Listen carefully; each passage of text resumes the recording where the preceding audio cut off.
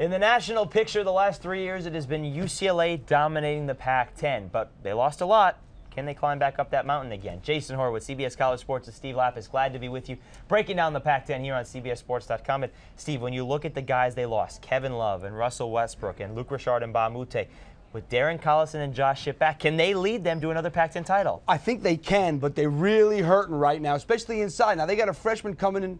We know about Jrue Holiday, he's a great guard. But J'mison Morgan is going to be a very important guy on this team because he's a he's a big guy coming in. Because Alfred Aboya is a senior. He's been a role player all these years. Keith has been a, is a senior. He's been a role player. They need somebody to step up inside if they're going to be what they were. Now you mentioned Jrue Holiday. Is he an OJ Mayo type player that people should expect, or maybe a better all-around player with his defense? Better all-around player for, because of his defense and because he's more of a pure point guard. And even though they have Darren Collison in Ben Howland's system, they can play with two point guards. In college in general, you can play with two point guards, especially two talented ones where they both can score. And Jrue Holiday has a chance to be a very special kid. And they're picked again to finish atop the Pac-10. Now you also have the biggest off the court story heading into the uh, college basketball season, and that's Lute Olson uh, no longer at Arizona how far down is this team going to fall this year? Well, here's what I will tell you. Lute Olson and Jim Calhoun in Connecticut probably did the two, be- and John Calipari. Those are the three guys did the, th- the best jobs in college basketball over the last 25 years. Arizona, if people remember, was not much of a basketball school till Lute Olson got there.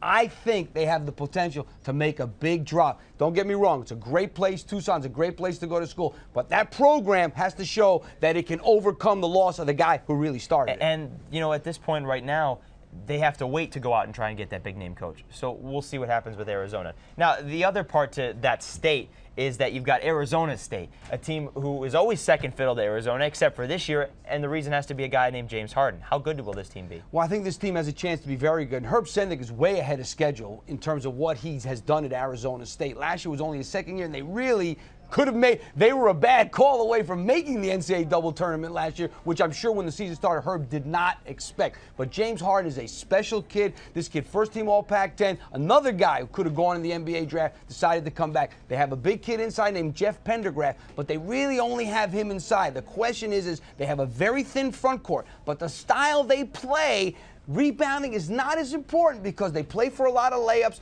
They know how to run that Princeton style of offense. So the question is, do they have enough depth? And what's going to happen when they are the hunted? Last year, they caught people by surprise, not catching anybody by surprise this year. Arizona is a big game. Arizona State is a big game for everybody in the Pac 10. Yep. People are going to be extra ready. And and it makes it that trip to Arizona a little easier because if Arizona is not as good, even with Chase Budinger, you still have to play Arizona State. So you, maybe one easy, one not as as difficult uh, as years past. All right, now the other part we talked about UCLA.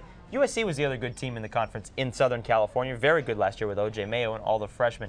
They bring in DeMar DeRozan, another very good freshman, but Tim Floyd, it seems like he's having to reload every year as opposed to keeping players there. Does that catch up to them eventually? Well, it could hurt you, but he's still got Taj Gibson, he's still got Daniel Hackett, and now he adds DeMar DeRozan. And yeah, when you have to retool that much every year, it does make a difference. But one thing about Tim Floyd, he's a defensive coach, and it's a lot easier to get your defense working together than it is to get your offense working together. So as long as he's able to keep them on the same page defensively, like they've been, they have a chance to be good. But don't take anything. When we talk about Jrue Holiday, UCLA, don't take anything away from this kid, DeMar DeRozan. He is every bit as athletic, and he could easily be the Pac-10 Rookie of the Year. All right, real quickly, three teams that are uh, usually at least trying to make it to the tournament and, and competing every year: Oregon, Washington, and Cal. Oregon's made it the last two years. Washington has been a disappointment the last couple years, and Cal, same thing. But maybe they make it back this year.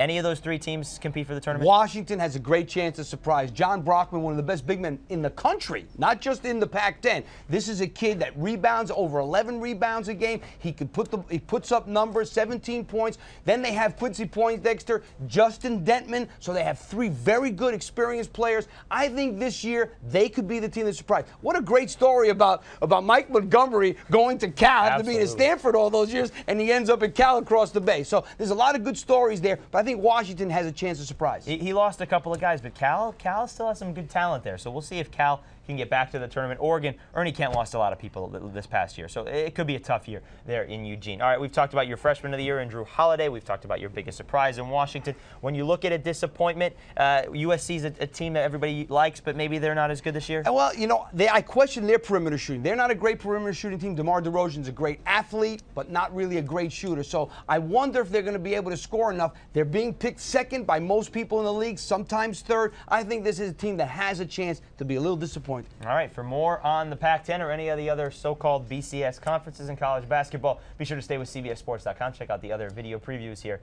on the website. For Steve Lappas, I'm Jason Horowitz. Let's get ready for college basketball, folks. Take care.